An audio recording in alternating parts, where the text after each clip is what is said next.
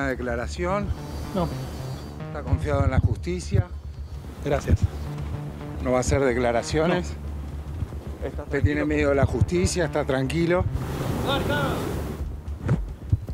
¿Qué piensa de esto que grita la gente? Gracias, ¿eh? ¿No va a hacer nunca ninguna declaración? ¿Cree que está comprometido? ¿Cuál es su impresión, doctor? Muchos apuntan hacia usted.